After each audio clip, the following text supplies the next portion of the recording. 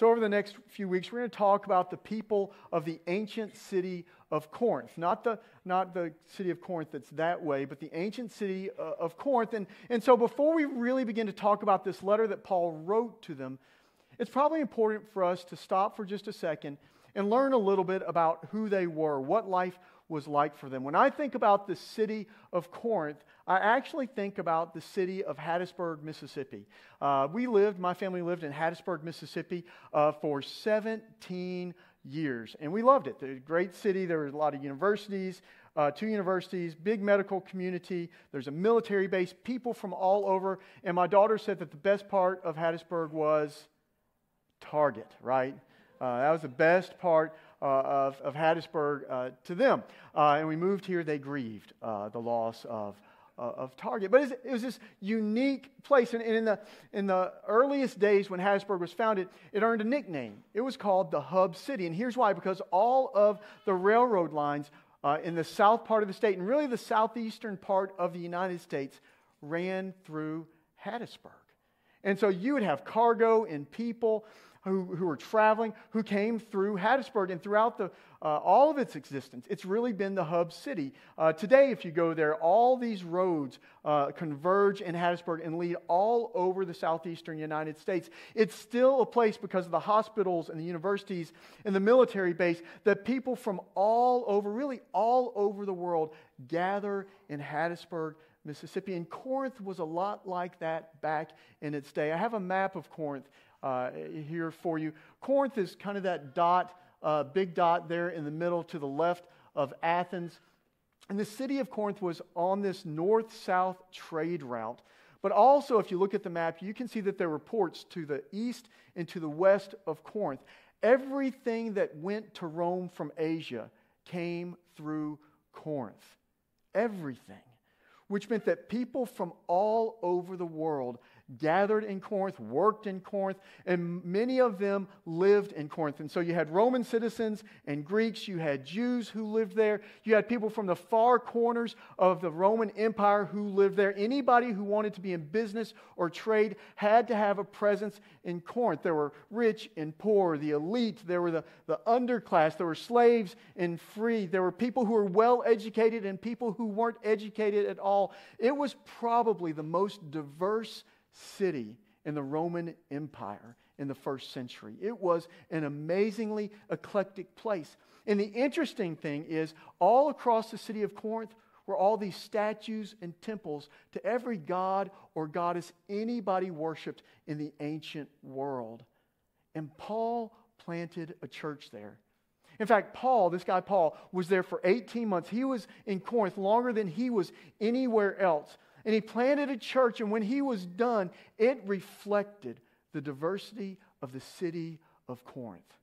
You had people from every possible and potential background. You had, you had people rich and poor, all these people rubbing shoulders with each other in the church of Jesus Christ who had given their lives to follow Jesus. And this was unique. I want, I want to make sure you understand how unique this was. In the first century, you stayed with your own people. Whatever your class of people was, that's who you did life with. That's who you did community with. You lived with your class of people. You did business with your class of people. No one else. And so the church that Paul started with all of these people from all over the world was truly unique. It was fascinating all these different worldviews, different backgrounds, different religious histories, all together in one room. How do you think that went? Right? How do you think, really, let's be honest, how do you think it went? Not well, right? Paul left after 18 months, and he hadn't been gone long when he got a letter. He got some information uh, that rivalries started popping up. People started uh, treating people differently according to what they made. Uh, you had dissension and division. The church that he had founded was breaking apart because people couldn't figure out how to exist together. Here's, here's why Paul wrote the letter. He says it right at the very beginning 1 Corinthians chapter 1, verses 10 and 11. Paul says, and this would have been read to the church uh, as they gathered. Paul wrote, now I appeal to you, brothers and sisters, by the name of our Lord Jesus Christ, that all of you be in agreement and that there be no divisions among you, but that you be united in the same mind and the same purpose. For it has been reported to me by Chloe's people that there are quarrels among you, my brothers and sisters. Paul wrote to the church in a moment when it felt like the divisions were winning. Does that sound familiar? It ought to sound familiar because we live in an age, we live in a season in our world where it feels like the divisions are winning, doesn't it?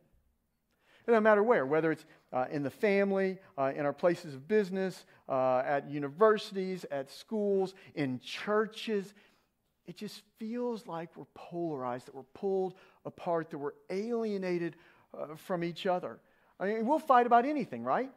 We fight about, fight about climate change, whether or not we ought to use uh, plastic straws. If someone today goes online and posts that the sky is blue, what's going to happen? People are going to fight about it, right? Somebody's going to declare them a heretic. The sky has never been blue. You don't know what you're talking about. This is the world that we live in. It feels like the divisions are winning. So, what do we do? What, what do we do? How do, how do we learn again how to live together even when we disagree? How do, how do we learn to do life in a way that allows us to treat each other maybe with grace and respect? Even, even when we find that there are issues that we can't be compatible on. How do we do that? 2,000 years ago, Paul wrote an entire letter about how people can exist together, even when they can't come together on certain issues. And here's the thing Paul, when you read, the, and we're going to read a lot of this letter over the next few weeks, Paul tackles the tough issues. He goes uh, straight on to deal with the problems, the divisions, all that's going, on, going wrong in the church in Corinth. But here's, here's the amazing thing Paul doesn't start with any particular issue. Instead, what Paul does is Paul lays the groundwork for the people in Corinth. And he says to them, Look, if, if you want to figure your way past all this fighting, all this polarization, if you want to figure it out, then you've got to know this one thing before anything else. This one crazy and ridiculous and foolish thing. And here's what he says that foolish thing is. If you got your Bibles, you can circle, underline, highlight. We're going to read uh, verse 18 in chapter 1, and we're going to skip over to verses 22 through 25. Paul says, For the message about the cross is foolishness to those who are perishing, but to us who are being saved, it is the power of God. And then verse 22 For Jews demand signs and Greeks desire wisdom, but we proclaim Christ crucified, a stumbling block to Jews and foolishness to Gentiles, but to those who are, who are the called, both Jews and Greeks, Christ the power of God and the wisdom of God. For God's foolishness, God's foolishness is wiser than human wisdom, and God's weakness is stronger than human strength. So, what is Paul saying there? Here's what he's saying there the wisdom we've built our world on is not the wisdom that will heal the world. Let me say that again. The wisdom that we've built our world on is not the wisdom that will heal the world. So, what's the wisdom that we've built our world on? What's our perspective on being a success in this life? What does it mean in this world to have the respect of other people? Think about that. What is it? It's to win, right? It's the person who has more money, uh, more influence, more connections, more power. Those are the people who we deem success. And so our wisdom is that if we want to be a success in this world, we follow the same rules, the same wisdom that the Corinthians followed. It's the same wisdom we have today that there must be power and that we have to have power to overcome others, to push others back, to convince them that they're wrong. That's the wisdom of the world. But Paul says, even though we've built the world on that wisdom, that's not the wisdom that will move you forward. Uh, what's the definition of insanity? You, you all know this. It's overused, right? The definition of insanity is what? doing the same thing over and over and over again, and what? Expecting a different result. And Paul's basically telling the church in Corinth, and he's basically telling us as well, that if we continue to try to do things on uh, the, the world's terms, the wisdom of the world's terms, then that healing that we desire for our relationships, the unity and the oneness that we're called to as followers of Jesus Christ, it will always escape us. And Paul presents to us an alternative wisdom. And it's the wisdom of the cross. He says, Christ crucified is our wisdom. The cross, the cross in all of its foolishness and ridiculousness, that's the wisdom that we follow if we want to find healing in relationships in our world. And, and, and, let's, let's be honest, the cross doesn't seem all that foolish or ridiculous to us anymore, right?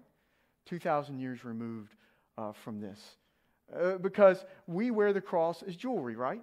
Uh, if you're out in the atrium and you haven't ever looked up in the atrium, there's this, there's this beautiful 25 foot tall cross embedded in the wood panel just outside uh, this wall. For us in our day and time, the cross is this beautiful and hopeful symbol. But if we were able somehow to bring somebody from the first century and put them out in the atrium to look at that cross out there, they would shudder. They'd ask us what in the world we were doing. Why did we, why would we ever have that anywhere where it could be seen? Because in the first century, the cross represented the power of the Romans over other people. The cross was a symbol of execution because that's how the Romans, the worst of the worst, the worst of the worst, were executed on the cross. Why? So the Romans could flex their power over other people. So they could show people if you do what they did, this is what happens to you. You will die a horrible and humiliating death. So for Paul to write that the cross is the wisdom of God. People would have been shaking their heads. How, why? What is he saying? Why is he saying that? And here's why. Because here's what Paul knew. And I think this is, this is the truth that we know but easily forget. That out of the weakness and powerlessness and defeat and death that the cross represents, God brings life. Out of the darkest places in the world, God brings light. Out of what looks like complete and utter defeat, God brings victory. And, what Paul is inviting the Corinthians to do, and what Paul's inviting us to do, is to think differently, think differently about our world. He's, he's attempting to reshape our imaginations of what is possible so that we don't have to live as rivals to one another, but that we can see the world through the lens of the cross. Because when we look at the world through the lens of the cross, we see the truth that all of our power plays, all of our killer instinct about stuff, it doesn't bring life it simply adds to the death. And when we, when we look at the world through the lens of the cross, we begin to see that maybe, maybe when we are weak and vulnerable, we find our strength. When we look through the lens of the cross, what we begin to understand is that any loss may be able to turn into victory. When we look through the lens of the cross, we begin to understand that using power plays in this world. It's not the way of Jesus, of Jesus. It's not the wisdom of God. Paul invites us, before he gets to anything that divides us, he invites us to, to reframe our imaginations of how we approach one another, of how we do this thing together. And here, here's what he writes in the scripture that Brandon read a few minutes ago, verses uh, 26 and, and 28. He says, Consider your own call. He said, Think about your own life. Brothers and sisters, not many of you were wise by human standards, not many of you were powerful, uh, not many of you were of noble birth.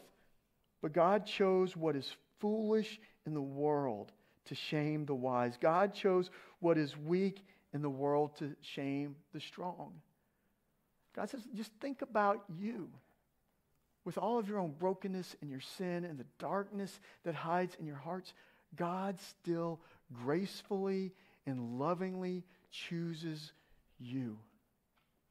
And because God faithfully and lovingly chooses you, foolishly chooses you and me, we're called to look at the world and understand from this foolish wisdom. And maybe what that means for us as we think about this foolish wisdom, maybe, maybe that means for us that we forgive sometimes when nobody else in our circle of friends will forgive. Maybe that means that we extend patience and grace to people who others are condemning. Maybe that means we lay down, just as Jesus laid down his life going to the cross, maybe it means we lay down sometimes our pride, our self righteousness, our need to be right about everything. Any of you out there like me like to be right about stuff? Maybe the wisdom of the cross is that we lay that down.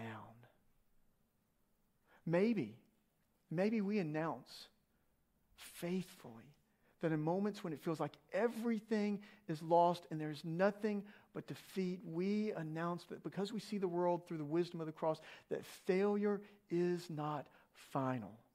Not your failure, not the failure of the church, not the failure of anyone. One of my favorite writers is a guy named Frederick Buechner. In one of his books, uh, Listening to Your Life, he, he wrote this. I want to read it to you. It's a longer quote than I, I normally offer, but it's so good. He writes this If the world is sane, then Jesus is mad as a hatter, and the Last Supper is the mad tea party. The world says, mind your own business, and Jesus says, there is no such thing as your own business. The world says, follow the wisest course and be a success, and Jesus says, follow me and be crucified. The world says, drive carefully. The life you may save may be your own. And Jesus says, Whoever would save his life will lose it, and whoever loses his life for my sake will find it. The world says law and order, and Jesus says love. The world says get, get, and Jesus says give. In terms of the world's sanity, Jesus is crazy as a coot, and anybody who thinks he can follow him without being a little crazy too is laboring less under a cross than under a delusion. Think about that last line. Anybody who thinks he can follow him without being a little crazy too is laboring less under a cross than under a delusion. 2,000 years ago, Paul wrote a letter when it seemed like all the divisions of life were winning. And he called the people to foolishness, to foolish trust in a foolish God, so that we might act and live foolishly in our world. And so, as we enter into this season, as we enter into this series, here's what I want to, here's what I want to challenge you to do, particularly as you bump into uh, the disagreements, uh, whether it's in your family or at work, or even maybe disagreements that you've got with people in this room right now. Be aware of them. Be aware of your posture in those moments. Be aware of of the draw of using the world's, uh, the world's wisdom. How do I push them away? How do I make sure I tell others how wrong they are? How do I defeat them? And maybe begin to pray a little bit. Maybe begin to pray a little bit. God, show me the foolish wisdom of the cross for this moment, for this situation in this circumstance. Maybe what we need, maybe what we need in the world is not more order. Maybe what we need is a little more craziness. People who are willing to base their lives on the life of Jesus Christ crucified. There's an old story about a preacher in France uh, he moved to a new community and he was out visiting people. And one day he went and visited a family, and the wife wasn't there, but the husband was there. And the, when the wife came home, uh, she kept asking him, Well, what did, what did he say? What did, what did he tell us? And, and, and the husband said, Well, he didn't say much. All he asked was, Does Christ live here? And she said, Well, did, did you tell him that we're the church's biggest givers, that we're the biggest supporters of the church? He said, well, He didn't ask about any of that. He just asked, Does Christ live here? What did you tell him? That we, we study our Bibles every morning, we pray together every day, morning and night?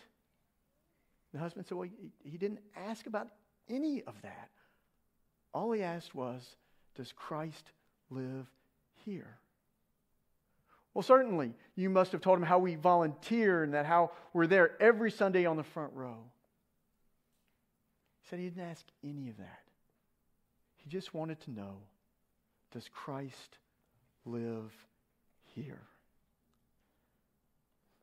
Maybe for us in the days and the months, the years ahead, maybe, maybe God needs us to be a sign and a symbol of the life of Jesus lived out so that if there is to be healing, whether it's in our churches or our homes or in our world, because we, we have decided that Jesus, the crucified one, will live here. Let's pray.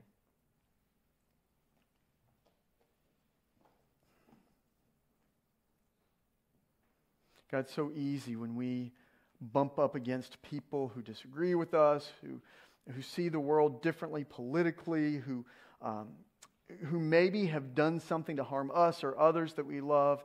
It's really easy to respond, to just reflexively respond with the ways the world has taught us to respond. Yet there is another way. A way that doesn't lead to more death and destruction and pain and brokenness. a way that leads to life and healing and hope. God, may we, may we, may we focus our lives on Christ and Christ crucified, that we may see the world differently, that we may live in our world differently as people who bear the, the life and the death and the resurrection of Jesus Christ to our world. In the name of Christ we pray. Amen.